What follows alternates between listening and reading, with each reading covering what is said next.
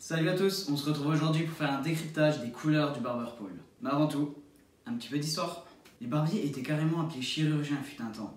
Ils pratiquaient des saignées sur leurs patients, pensant que ça aiderait à leur santé. Les barbiers étaient aussi dentistes.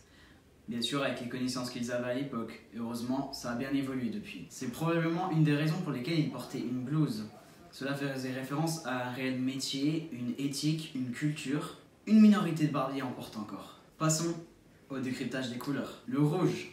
Le rouge symbolise le sang, faisant référence aux saignées, comme je vous l'ai dit plus tôt, qu'il pratiquait. Le blanc, lui, fait référence aux bandages qu'on appliquait sur les plaies. Donc le bleu, logiquement, il devrait représenter les veines. On pourrait dire qu'il représente les veines. Pour certains qui sont un peu plus patriotiques, il fait référence aux couleurs du drapeau américain. Chacun a sa, a sa signification du bleu, à vous de choisir.